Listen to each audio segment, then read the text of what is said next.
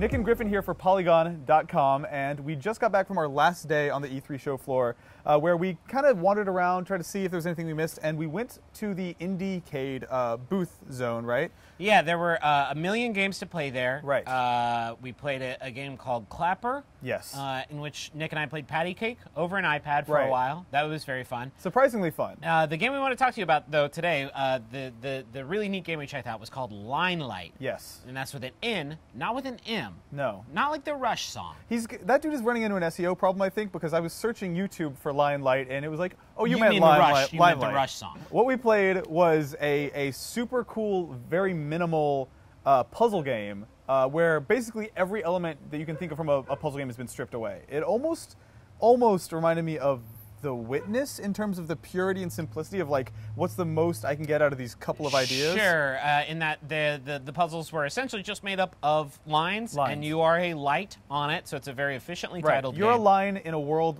where everything's a line, and all you can do is move over those lines. Uh, but there's a lot of complexity there. It, it looked really simple while I was watching Nick play it, and then Yeah. I sat down to play it, and uh, no, it actually got extremely difficult very, very quickly. There's things like gates Mm-hmm. that you activate when you move past switches. There are other lights in the world that if you touch them, you die, so you have to kind of move around them and avoid them. Right.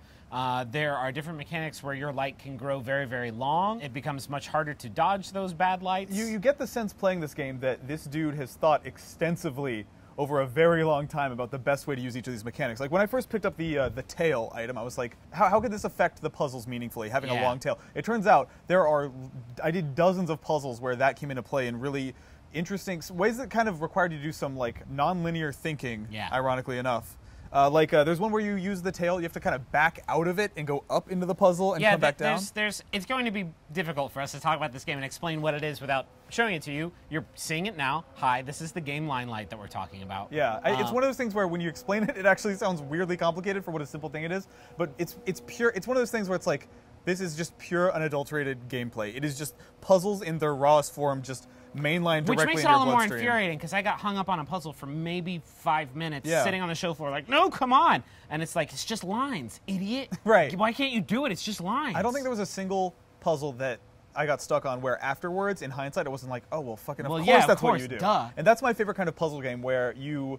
It's one of those things where if you stare at it long enough, if you think about it, maybe you get up, walk away, take a break, come back, you will crack that nut eventually. And there's a really nice escalation, a really nice difficulty curve. It explained its mechanics well in completely nonverbal ways. Yeah. Um, I, it's exactly what I look for in a puzzle game, and I cannot wait to play more of it. Uh, but that's coming out later this fall uh, for PlayStation 4 and PC. Mm-hmm. That's right. Uh, and it's really worth checking out. It was actually a really nice uh, reprieve from Yes. like some of the louder uh, games of, of E E3 It was the least AAA game I think I've ever played. Yeah, but in that way, it was also really, really, really great. relaxing. And actually, like in fairness to it, like great production values, great music, the, Yeah. a nice glowiness, a nice soft wobbliness to the way it all felt. I- Glowy and wobbly. glowy and wobbly. That's what I look for But not games. line wobbler. That is a different other. That's a different. This is not the game where you're also a light moving down a line. I can see why you would be confused though. Yes. Uh, anyway, that's uh, Linelight. We got a few more videos coming this way for We. E3 2016. You can view them all on youtube.com slash polygon or check out all of our coverage throughout the week at polygon.com. And hey,